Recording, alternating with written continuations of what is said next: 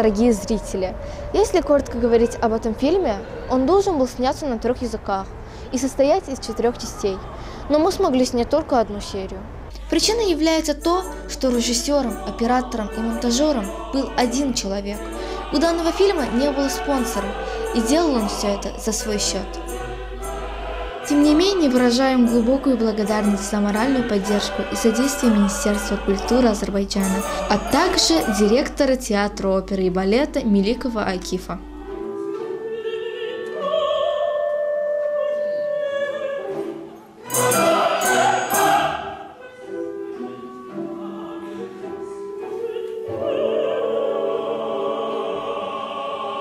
Все знают, что опера начинается с гардероба. Я Гасанова Лидия Александровна, работаю 20 лет в опере театра балета. Аншлаги у нас вот часто бывают, приходят. Мы стараемся не, не покидать свой пост, не уходить. Э, и то, что вот в людях есть там и деньги, и сумки, мы отвечаем, конечно, за это. За 20 лет нарушений, ни кражи не было. Ну, как наш директор, все довольны этим. То, что у нас такое, и зрители довольны, вот то, что приходят ко мне.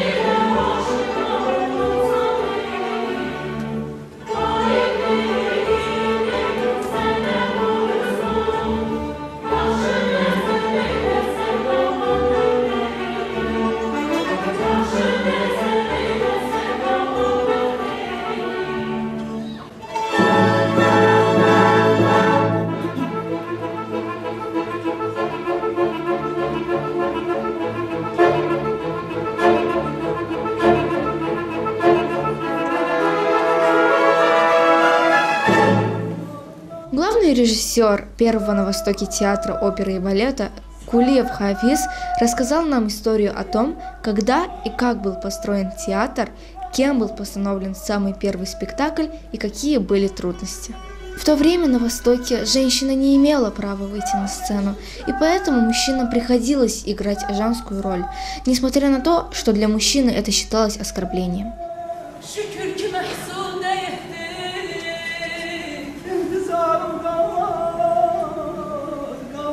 Режиссер рассказал нам все новшества и достижения коллектива театра и как эта ценность передавалась от поколения к поколению. Он с воодушевлением рассказал нам, куда их приглашают и как они гастролируют по разным странам и сотрудничают с мировыми оперными театрами. Довольно часто они приглашают знаменитых и известных артистов из разных стран играть ведущие роли на сцене Бакинского театра оперы и балета. Друзья, поприветствуем. Андрей Романенко прилетел только что.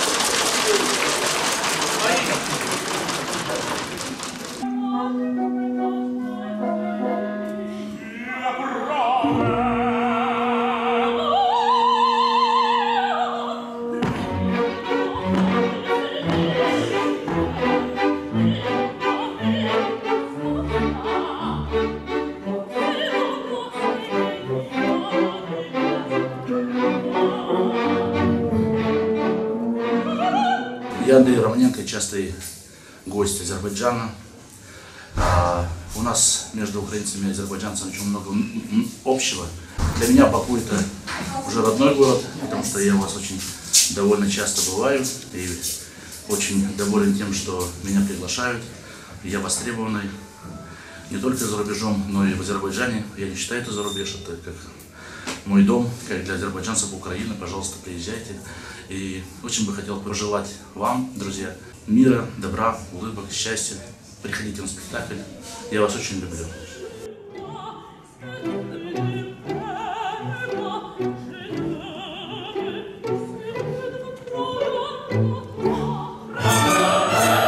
Очень рада э, вернуться опять в Баку на спектакль «Кармен».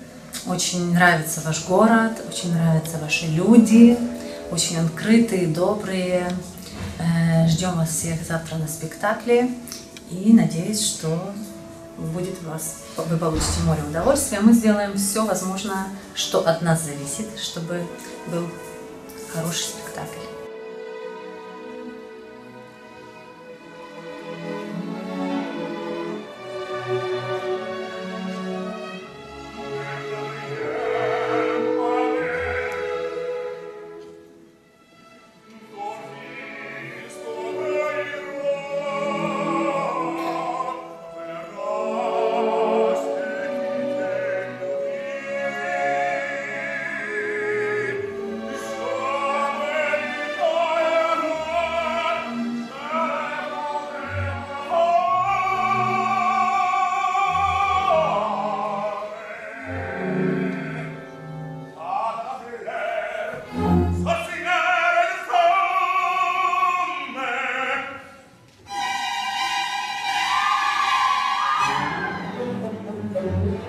なくなった。ら、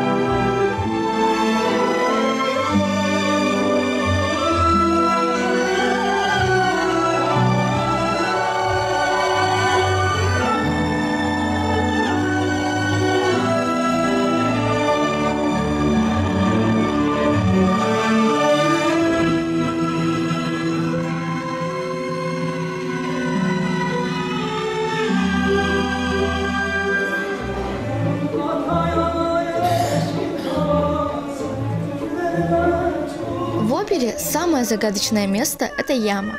Вы не ослышались, она так и называется. Это место, где играют музыканты и звучит музыка. Однако, не видя сцены и зрителей, музыканты тонко чувствуют все, что происходит между сценой и залом.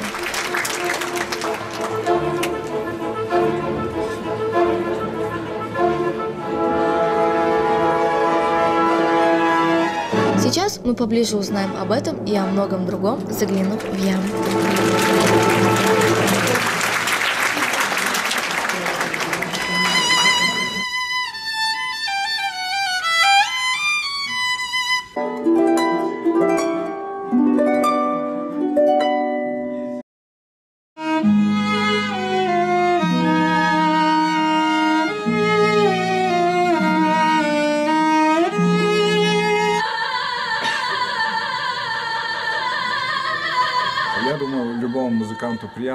Когда чем больше слушателей в зале. Почему? Потому что, в принципе, ты в это время показываешь свой труд, ты показываешь свою, грубо если говорить, свою продукцию, и чем больше людей тебя слушают, тем ты более внимателен, более стараешься и радуешься, когда получается все больше и, и лучше. Многие зрители в антракта подходят и наклоняются и смотрят в оркестровую яму, где сейчас мы находимся. Они, когда смотрят и видят такое количество здесь музыкантов, они удивляются. Они не ожидают, что здесь человек 60-65 сидит, каждый своим инструментом. И они удивляются, каким образом у нас получается так слаженно играть. И мало кто знает, что оркестр — это высокоорганизованный военный отряд, военного типа. Вот как старая армия Чингисхана, римские легионы. Они не знают, что здесь строгая дисциплина, подчинение музыкантов определенным э, лицам. Здесь, вот я когда говорю военный отряд, здесь есть свои офицеры, есть младшие офицеры, есть старшие офицеры. Многие не знают, они думают, что мы сидим просто в ноты смотрим. А если посмотреть структуру оркестра, то она состоит из многих групп. Даже если брать просто струнные инструменты, Вот их всего пять да, инструментов струнных. Скрипка, альт, виолончель, контрабас. Четыре инструмента, а поделены они на пять групп. У каждого свой командир, называемый концертмейстером. Когда я сказал офицеры младшие и старшие, вот Сабина, например, относится к старшим офицерам. Почему? Потому что в квинтете вот минимум 30-35 человек. Есть младшие офицеры, которые держат свои группы. А старший офицер, он помогает все это организовывать правильно, чтобы все э, шло в одном темпе, в одном русле, как бы река текла, да? Вот, э, глядя на наши ноты, обычный человек ничего не поймет. Там обычные какие-то закорючки, какие-то ноты, какие-то запятые. Но это все устроено так, недаром нам приходится учиться 15-20 лет, что наш мозг э, э, превращается как бы в компьютер. Глядя на эти значки, у нас за доли секунды должны работать руки, пальцы переставляться струн на струн. Ты должен слушать одновременно себя, чтобы интонация, чтобы была чистая, слушать, чтобы был красивый звук, что делают рядом другие. И все это происходит в доли секунды. Своя математика. Нет времени отвлекаться ни на что. В доли секунды мы решаем такие математические задачи, да, это как калькулятор. Ну, наукой доказано, что у музыкантов работает два полушария.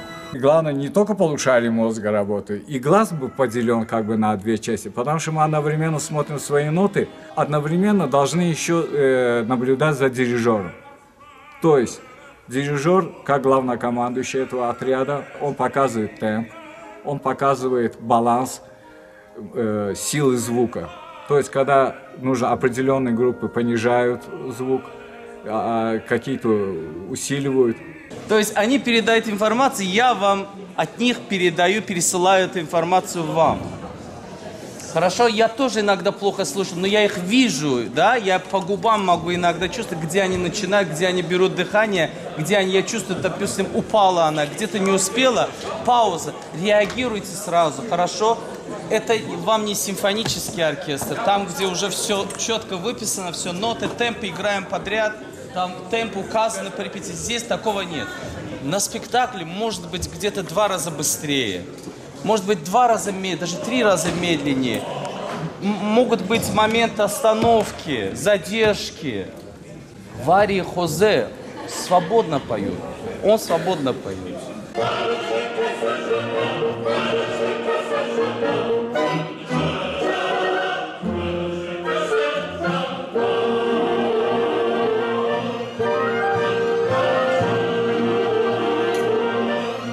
Кулиев, э, я являюсь главным дирижером, музыкальным руководителем Азербайджанского государственного академического театра оперы и балета. А теперь, дорогой друг, давай узнаем, что нам поведает главный дирижер театра.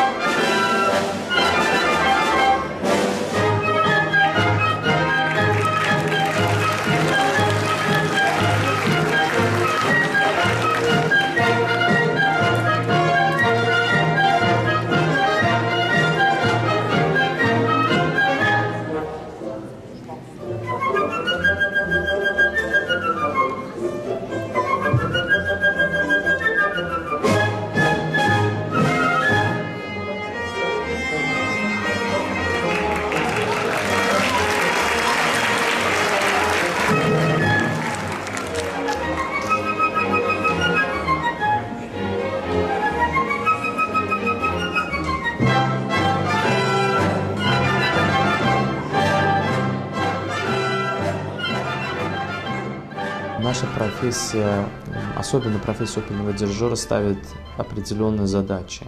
Сравнивая с другими направлениями по дирижированию, скажем, ди- дирижирование симфоническим оркестром, хором, там, э, там, э, военное дирижирование, там, дирижирование камерным оркестром, конечно, каждое направление имеет э, свои какие-то сложности, но мне кажется, что оперное дирижирование является самым сложным, наверное, потому что это обязывает дирижера управлять э, очень большим коллективом, причем это происходит параллельно, и умение регулировать и управлять этот процесс э, он самый сложный, потому что от э, дирижера в это время требуется максимальная концентрация, опыт, умение работать, слышать, реагировать. То есть и оркестр в яме, и, и солисты на сцене, и вокал, и балет, хор, режиссура, и сценические какие-то условности. Это, конечно, делает нашу профессию одной из самых сложных. И также в нашей профессии есть какие-то, ну, факторы человеческие, да, так скажем, потому что в нашей жизни каждый раз происходят какие-то интересные вещи, иногда бывают очень мрачные, бывают положительные или бывают отрицательные. Это, естественно, влияет на отношение человека к музыке, но мне кажется, что бы ни происходило в нашей бытовой жизни, а, то, что бывает вне театра, это никак не должно влиять на, на то, что происходит на сцене. Но удивительно, что даже не говоря оркестру, хору, солистам э, ни слова, ты можешь так повлиять на, э, на звучание, на интонацию, на манеру исполнения. Например, дирижер приходит, он становится за пульт и его мысли, ощущение его состояния в данный момент очень сильно влияет на, на то, что он слышит, и на, на, на результат, звуковой результат, да, так скажем. Иногда даже ты с ними не репетируешь, ты с ними не договариваешься, ты с ними заранее не обдумываешь, не определяешь ничего, но ты приходишь и, естественно, ты э, получаешь такой результат, который даже ты не ожидал. Ты с ними не, обсуждал это, допустим, чтобы они играли здесь немножко медленнее. Ты не обсуждал с ними, например, а, чтобы они здесь играли быстрее или что чтобы они немножко где-то что-то растянули. Что Нет, они сразу реагируют, они чувствуют состояние дирижера. И даже не говоря об этом, без всякой какой-то информации, музыканты, солисты не понимают, что в данный момент дирижер хочет и как он себя чувствует, как, в каком он состоянии психологически, что он требует от солистов. Удивительно, потому что руки, а, они в первую очередь отражают мысли дирижера, его внутреннее состояние, его видение, его мышление. А, и а, руки делают то, что говорит голова, разум сердце. Конечно, какое из них разум или сердце преобладает, это уже решает дирижер, конечно, его внутреннее состояние в данный момент. Но меня привлекает эта идея, что э, все-таки один человек, его внутреннее состояние может сделать такую колоссальную работу без репетиции, без всякой подготовительной какой-то, скажем, ну, скажем, э, встречи там, или там. Мы же бывает собираемся, мы всегда репетируем все нормально, все. На следующий день ты приходишь, немножко что-то случилось, да, допустим, в реальной жизни что-то произошло, хорошее, плохое, но вот манера движения рук, глаз, мимика, все это, или они дают другую информацию, или, или ты хочешь, чтобы это было, допустим, да, медленнее, чем обычно, более драматично, глубже, более интимную, как бы. Они так и делают. Ты можешь попросить их, даже не просить руками, то есть просить, показать это немножко более подвижно, легко, не с другим настроением, на подъеме, скажем, да, чтобы это было по-другому сделано, реализовано. И они так реагируют. Это, это хорошее качество для дирижера, мне кажется. Правда, слишком этим увлекаться тоже нельзя, потому что, естественно, автором написана музыка, имеются определенные требования, есть определенная концепция, и ты этому подчиняешься. Естественно, ты стараешься найти что-то свое в музыке, но кардинально менять тоже это неправильно. Естественно, если ты привносишь что-то новое, в большинстве случаев это меняет все в лучшую сторону. Ну, как бы ты начинаешь как художник рисовать какие-то контуры, и они начинают с тобой вместе дышать. Вот это общее дыхание, это и есть творчество. А творчество идет от кого? От дирижера. Да? Если ты это понимаешь, и оркестр это чувствует, они создают потрясающие картины. Так что это все взаимосвязано. Музыка, живопись, гармония. А, вас стало очень-очень мало и по балансу, и по артикуляции, и вообще вот по энергетике. Раньше у нас было какое-то вот дыхание, звук какой-то вот вообще. Сейчас этого нет. Когда слушал Ромео и Джульетту, такое впечатление, что вы все играли с Урдиной. Все абсолютно. В некоторых местах, где соло игра, есть группа играет первые скрипки, это, это было чувство, что да, это играют первые скрипки. А когда играете вместе, вас не хватает. И в зале не хватает, и когда вот здесь сейчас я слушаю, не хватает немножко. Я хочу вас поп- попросить, э, возьмите инициативу в руки, хорошо? Вы мне очень нужны. Вторые уже подтянулись, все хорошо, активно все. Контрабасом ничего не хочу сказать с вами, так все ясно. Э, Вы знаете свои проблемы, да? Вы теряете после иногда контроль, вы не знаете, где находитесь, что делать, все, да?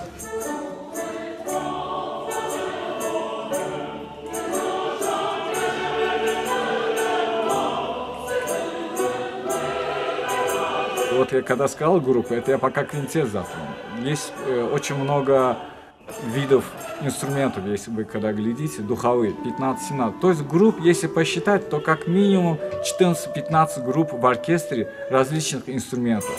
У каждого свой концмейстер, жесткая дисциплина. Каждому подчиняется его музыканту. У кого два в группе человека, у кого три, у кого пять. У скрипок вообще до 10 доходит. Это все идет э, путем строгого подчинения. Есть помимо групп еще отдельные стрелки, как я их называю, снайперы. Вот, например, шахла, сама одна.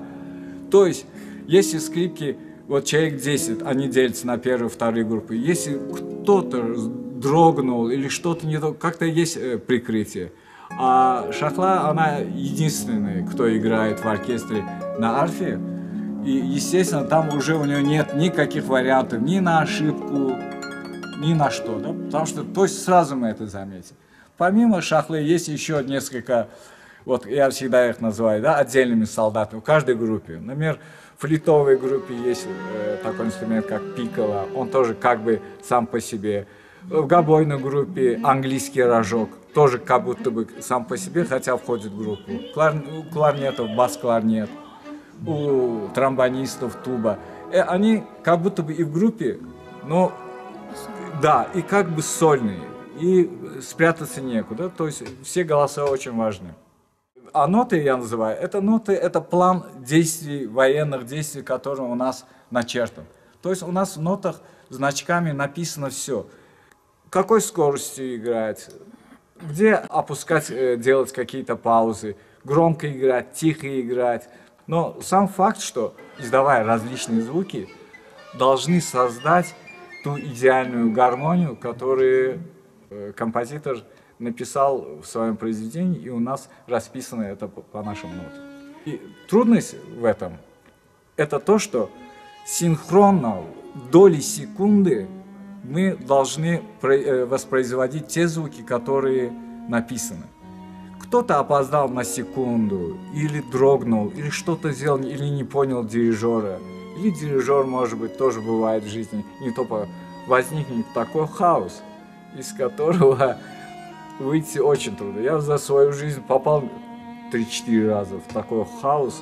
Это что-то страшное, когда кто-то э, пошел поперек музыки, несколько групп дрогнули, пошли не за тем офицером, и идет борьба групп. Вот здесь вступает самое главное, старший офицер, это как Сабина. Например, я смотрю на нее, правда, отталкиваюсь от дирижера. Мы э, стараемся так синхронизировать свою игру и потянуть большинство музыкантов за собой. Правда, есть музыканты, которые сопротивляются этому и, и свое хотят доказать. Вот тогда хаос не кончается пока, пока. Хорошо, что в музыке, это, это музыка что такое произведение? Это как река, да, течет. Хорошо, что у нее есть берега. Глянув вперед, мы видим, что где-то через 15-20 тактов, для людей это через 5-10 секунд, мы выйдем на такой Мы видим берег и выплывем, не утонем, и там мы в любом случае да, соберемся и пойдем по новой. Опять ладно. То есть эти вещи, которые замечаем только мы. Зритель даже может это не заметить. Он не замечает часто ошибку какого-то музыканта. Но мы слышим все. Слышим, потому что мы не сколько слушаем себя, сколько слушаем окружающих. Это и есть игра в оркестре, игра в команде. И только благодаря вот этим старшим офицерам, а они не просто офицеры, это же они как назначаются? Они приходят это через свое образование, лет 15-18, они учатся только этому. Потом игра в ансамбле, практика, еще лет 15. Когда ты становишься опытным, только тогда тебе разрешают возглавить какую-то группу. Потому что реакция должна быть мгновенной. Вплоть до того, что наш э, мозг компьютеризирован, да, что есть определенное написание значков. И часто ноты оркестровые раньше, сейчас это уже компьютеры появились, раньше писались рукой. Там многое зависит от линеек. На линейках нарисованы э, точки, запятые, которые каждая точка, любая, маленькая, большая, имеет значение. И у всех есть определенный стандарт написания. Пять основных линеек. Могут быть дополнительные линейки сверху, до 5, до 6 и снизу. И самое главное, что все должно быть на определенной высоте. Я о том, что наш мозг работает как компьютер. Вот две черточки – это нота выше, чем одна черточка. Но она и по написанию должна быть чуть выше. Не дай бог с одной черточкой нарисовать ноту выше, чем с двумя черточками.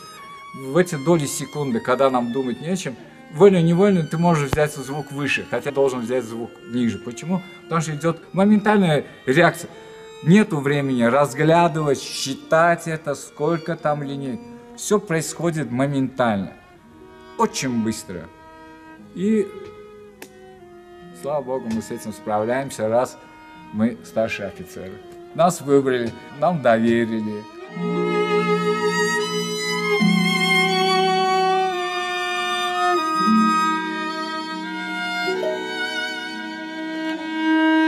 Опера – это самый высший жанр, который существует в музыке.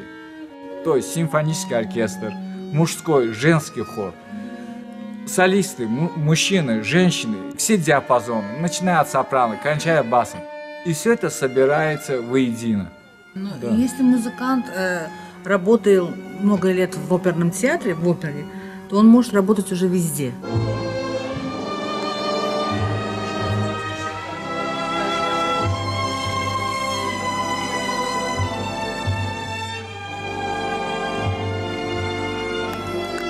Обычно говорят, что дирижирование – это профессия второй половины жизни. То есть, э, чем старше, тем лучше дирижер. Ну, как вино, да? Э, становится, аромат становится лучше, богаче. Да? А на самом деле здесь, конечно, имеется в виду э, развитие, человеческое развитие, развитие мышления человека. Потому что есть произведения, которые играют, например, эм, там Реквием Моцарта, Реквием Верди, э, шестая Чайковского, его последняя симфония. Ну, такие глубокие, сложные вещи. Это, я думаю, что это все-таки правильно, то, что говорят, что это нельзя слишком рано играть, потому что будет совершенно другое восприятие музыки, и потом э, человек уже, когда станет опытнее, и человек будет по-другому воспринимать жизнь, тогда он поймет, что он сделал неправильно. И это для него, это, э, конечно, это сильный удар для человека, для музыканта. Например, у меня был такой опыт, я держал реквием Моцарта, когда мне было, наверное, 28-29. Было неплохо, но я сейчас слушаю запись, я бы так никогда не делал, это нельзя. Так что совершенно по-другому я ощущал тогда темпы, совершенно по-другому ощущал музыку, характер. Со временем ты уже, ну, во-первых, в жизни происходит многое. А, ну, бывает хорошего, много не- нехорошего. Никто не застрахован от этого. Какие-то печальные бывают моменты. Человек страдает, человек кого-то теряет.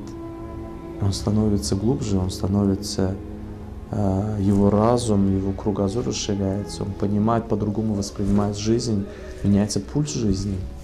И музыка, которую ты играешь, приобретает уже другие черты. Поэтому дирижер обязательно должен постоянно практиковаться, должен работать с оркестром, но правильно э, себе выбирать репертуар.